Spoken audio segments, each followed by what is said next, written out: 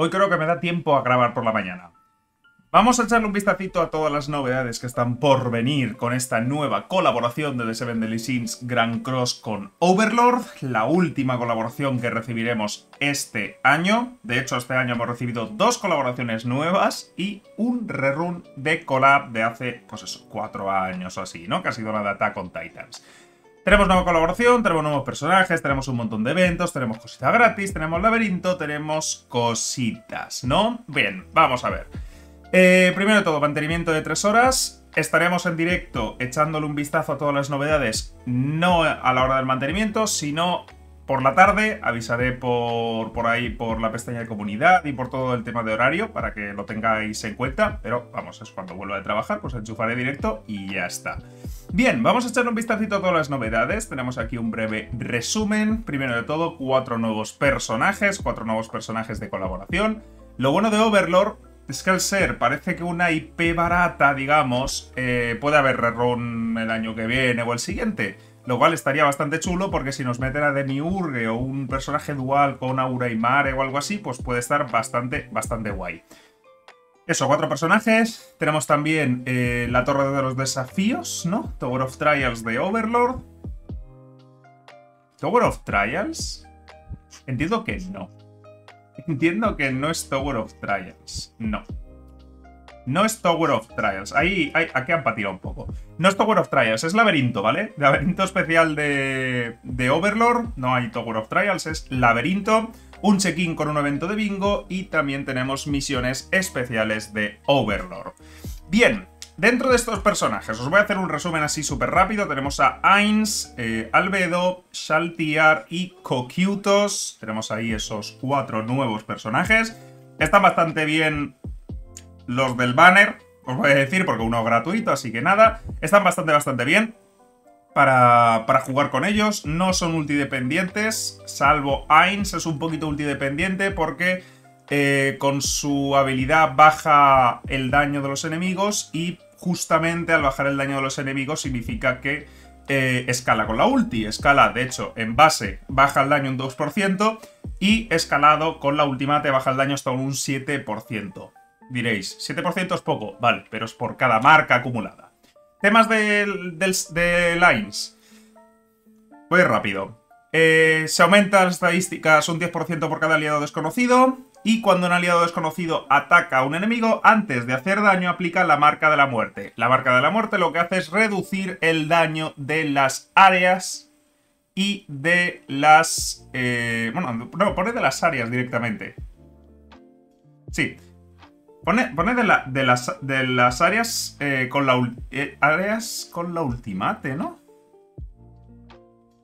Vale, eh, ultimates que sean áreas. Entonces no... Entonces te da igual que sea ultidependiente o no. Lo único que haces, parece, es reducir el daño de las áreas de las ultimates. Creo que reducía daño en general. Si es así, si es con las áreas de la ultimate, no es ultidependiente porque, total, raro es que alguien te lance una ulti teniendo tanto control de ulti en, las partidas y más, ¿no? Pero bueno, eh, es estarosa. Aplicas la marca de la muerte, cuando tienes cuatro marcas de la muerte. Si Ains lanza un ataque básico, un single target, si lanza el S1, ¿vale? Lo que vas a hacer es aplicar la declaración de la muerte durante un turno. La declaración de la muerte es que al final del turno enemigo se va a morir el personaje. A no ser que se dispele, el personaje muere. Ya está. El S1, daño de declaración, o sea, por cada marca de la muerte, eh, más un 40% más de daño, lo mismo que tiene Starosa. El S2 reduce las estadísticas ofensivas, reduce en 10% hasta un máximo de un 20% en área, así que está guay. Y la Ultimate lo que hace es daño de declaración, que no escala con la Ultimate, por cierto, este, este 40% no escala con la Ultimate. Y luego en PvP, eh, por cada marca de la muerte, va a disminuir también el daño de los aliados. De hecho, creo que esto de aquí es lo de la pasiva. O sea, aunque esté aquí en la ultimate, este 2% es esto de aquí. Es... Sí, lo de aquí. Así que nada, o sea, es ultidependiente por en ese aspecto.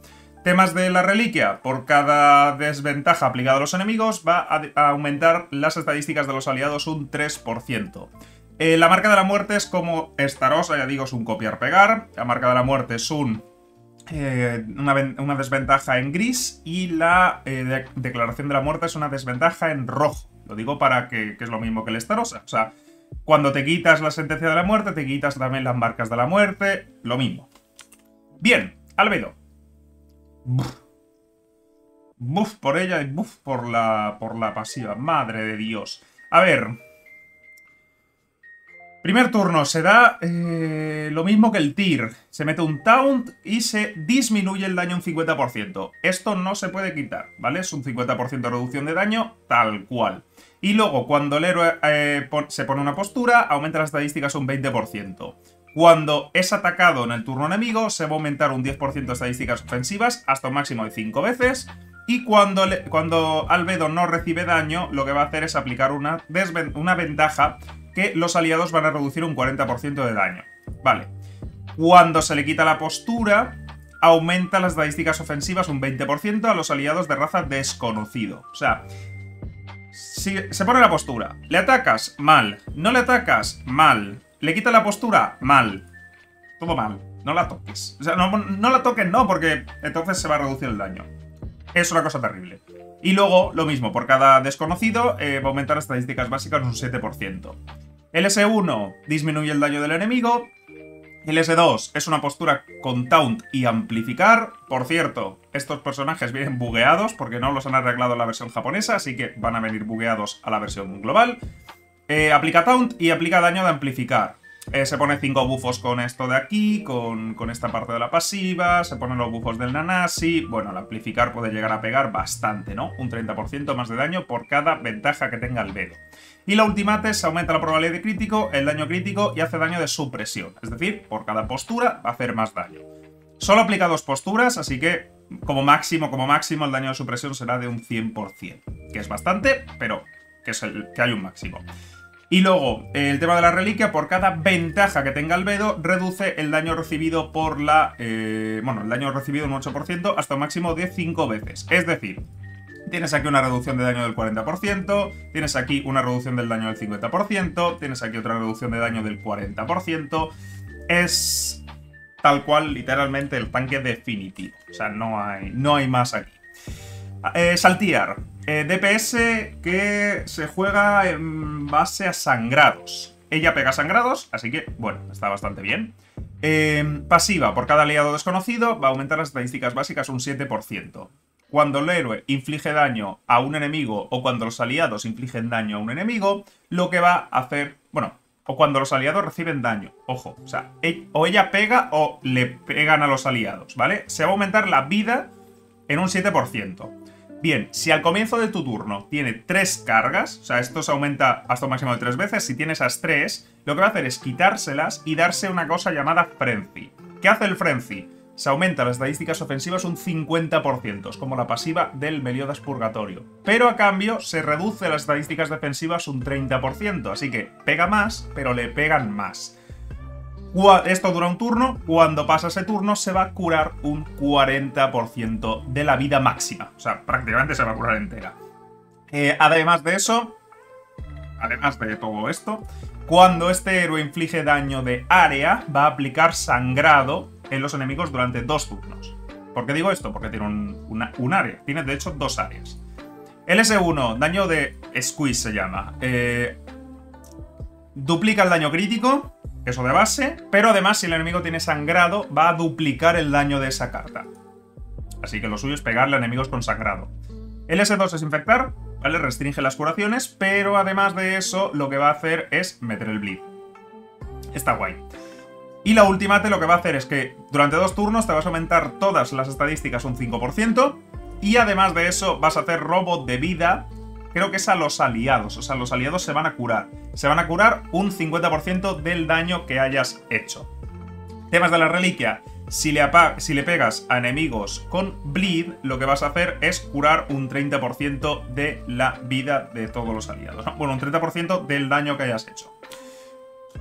Es un DPS consagrados, o sea, está, está interesante, sin más. Eh, a veces pega mucho, a veces pega poco es como es muy dependiente de, ese, efecto alterado, pues es lo que tiene, ¿no? Eh, personaje PvE y personaje gratuito de esta colaboración. En PvE, cuando el héroe utiliza una skill que hace daño, elimina todas las desventajas de los aliados y por cada desventaja eliminada vas a aumentar las, eh, la vida en un 8% hasta un máximo de un 40%. LS1, daño de amplificar, por cada ventaja que tenga Cocutus va a hacer un, un 30% más de daño. Eh, el S2 es daño de detonar, por cada orbe que tenga el enemigo va a hacer un 20% más de daño. Y la ultimate es la de mi casa, se va a aumentar las estadísticas básicas un 50% y va a hacer un ataque en área. Temas de la reliquia. En PvE, cuando utilizas una habilidad, vas a aumentar todas las estadísticas de los aliados un 10% hasta un máximo de un 20%. No, de hecho, es un 10%. 2% dos turnos. ¿De qué te sirve este Cocutus? Eh, para Gilbos. Ya, para Gilbos va a estar muy bien porque vas a aumentar eh, la vida un 40%, vas a aumentar las stats un 10%, te vas a eliminar las desventajas. Bueno, para Gilbos sirve bien. ¿Qué juega Gilbos? Pues 30 personas. Esto es el tema de los personajes de collab. ¿Están interesantes? Sí. ¿Merece la pena tirar? Sí. Hay que tener cuidado con lo que, con lo que está por venir, porque quedan dos festivals por llegar, que uno vendrá a finales del mes que viene y el otro vendrá a finales de año, más aparte el descuento de skins, también. Nuevo contenido. Eh, primero de todo, eh, eh, tienda de la collab. Si sacáis tres dupes de Cucutos, podéis cambiarlo por uno de Ains, ¿vale? Temas de las reliquias ya los hemos analizado. Viene la Kumu porque esta semana es semana de clasificación de Gilbos, para que lo tengáis en cuenta. Temas de los nuevos packs, pues tenemos lo típico pack de diamantes, los típicos packs así sueltos, está el ticket SSR, deciros que es al azar, os puede salir Cocutos, es completamente al azar, tenéis un 75% de probabilidades de acertar el, 50, el, el, ticket, pero también tenéis un 25 de que os salga Cocutos, que es el personaje gratuito y que, ya digo, no hay ningún personaje multidependiente. En este banner eh, tiráis, os salen los tres, el Cocutos es gratis y ya. Y nada, eh, vale, mejoras del sistema apenas hay nada. Han cambiado un poco del HUD de la taberna, ¿vale? El del tamaño del HUD para que se ajuste un poco mejor a algunos dispositivos. Y ahora tenemos los nuevos eventos. Nuevos eventos, primero de todo tenemos eh, el login de la collab, donde vamos a tener 100 diamantes y los dos primeros días nos van a dar una multi de tickets, ¿vale? Eh, entrada al juego antes del login, o sea, antes de, en mi caso, las 9 de la mañana, para que el mismo día tengáis una multi, ¿no? Tenemos esto de aquí, que es eh, las misiones especiales, donde nos van a regalar Cocutos y nos van a regalar otra multi al banner. Interesante, ¿vale? Ahí están todas las misioncitas. Mm, os diría facilito, pero es que hay que pasarse el laberinto. O sea, es un poco, un poco pereza, sinceramente. Hay que pasarse el laberinto para poder conseguir una de las misiones. Bueno, Vale, tenemos eh, bingo especial de la colaboración. En este caso, pues vamos a tener, una skin de Ains. Y aquí en este caso vamos a poder obtener dos reliquias dentro de este, de este bingo. Y deciros que en esta colaboración se pueden conseguir cuatro reliquias gratuitas y una adicional gastando diamantes. Lo digo porque esa adicional os puede servir para otros personajes de colaboración que no le hayáis sacado reliquias. Vale, eh, segundo, tenemos esto de por aquí, que lo que es el. Es el, un boss de la Season 4. Y en este boss, pues mira, tenemos la otra parte de la skin de Ains, ¿vale? Tenemos esta skin gratuita de Ains. Aquí conseguís una parte, que es en el bingo. Y luego la otra parte, pues la conseguís en este eventillo de por aquí. Y luego además, otra reliquia. Laberinto, que ya digo que creo que se han equivocado en el, en el panel ese eh, ponía ahí torre, pero no es torre, es eh, laberinto. Bueno, hay torre, pero no es esta semana. Esta semana no es la torre, es, es el laberinto. ¿Qué pasa con este laberinto? Pues... Nada. No hay skin. No hay skin para este laberinto. Pero hay 30 diamantes y hay otra multi de colaboración. Así que si podéis haceros el laberinto, pues que sepáis que tenéis otra multi más. En total nos van a regalar 3 multis, ciento y pico diamantes, porque estos son diamantes, eh, del evento hay diamantes, hay diamantes por todas partes. Y luego aparte, pues las 20 moneditas para el LR. ¿Que cuándo viene el próximo LR? Pues cuando venga la Season 5 creo es del Giro Arena. ¿Qué tenemos por aquí? Tenemos también el PvP Chaos, así que son otros 100 diamantes más. PvP Chaos, donde eh, podemos obtener pues, esos 100 diamantes y deciros que han cambiado el tema de los puntos. Es un poco pereza, sinceramente, porque van cambiando todos los días, cambian los puntos. Así que como cambian los puntos todos los días, em, hay que cambiar equipos todos los días. Es lo único que da un poco así de pereza. Son dos semanitas, dos semanitas donde vais a conseguir... Em, conseguir entrar en ciertos porcentajes y en esos ciertos porcentajes pues os van a dar eh, los diamantes necesarios, ¿no? Si que esto por debajo del 1%, pues os van a dar los 100 diamantes, más esto de aquí que son materiales de mejora de skins.